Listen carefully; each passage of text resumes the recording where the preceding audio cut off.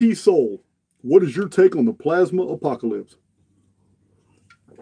Listen, guys, I do not want to detract or take away from any of the research of these other guys.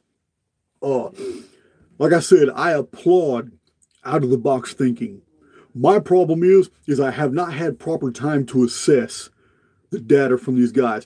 I'm familiar that several of you believe that the Phoenix phenomenon, as I present it, is probably the same thing that Jay Dreamerz has been has been releasing videos about. He just doesn't have the chronology or the historical details I have. He has more of the mechanics and physics about what's going on. We may be talking about the same thing. Now, the many of the Phoenix resets in history uh, could be referred to an, by autodidactics material I understand this. Many of you sent me emails about this. We may all be talking about the same thing, and I'm the one providing the actual chronology, showing the chronographical materials when these things happen. I just didn't have all the data they had. You follow me? When it comes to plasma apocalypse, I cannot denigrate any other author. I can't say that he's not he's full of bullshit. He said, I don't know. We may be talking about the same thing. We're talking about something that appears in the sky holographically.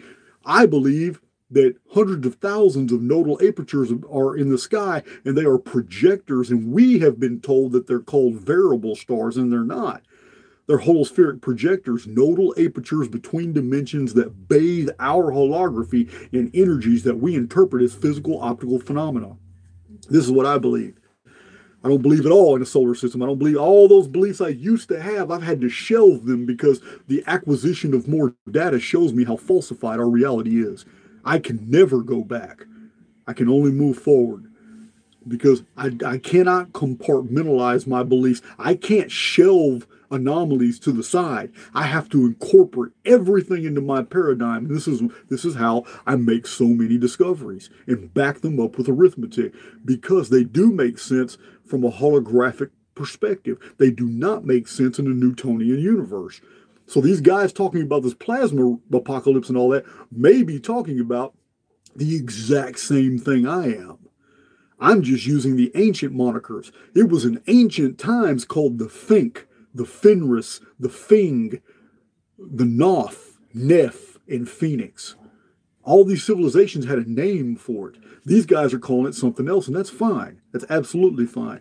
Phoenix calls us resets over and over and over, so we have some value in those guys that are documenting all these weird resets. Now, in modern times, there's been some stigma with this, like the particular attachment to one single culture from antiquity called Tartaria. Tartaria is from Tartar, it means the far west. I've done research on, on Tartary. I've done research on the ancestry of Tartary, on, on the Huns, and on on the Eastern Europeans and how they had come come by way of the Black Sea. Many of the migrations coming straight out the Near East. To me, it's not very mysterious. I understand how the Bolsheviks rewrote history and burned thousands of books, libraries, and rewrote a lot of the histories of these people. Do I believe Tartaria was the entire world? Hell no.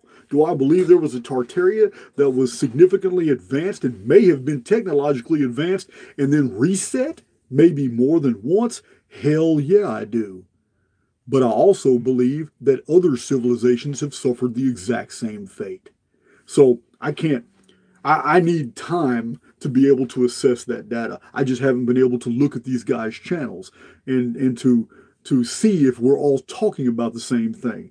We probably are, just from multiple different vantage points. I don't know. I don't know. That requires some some looking into.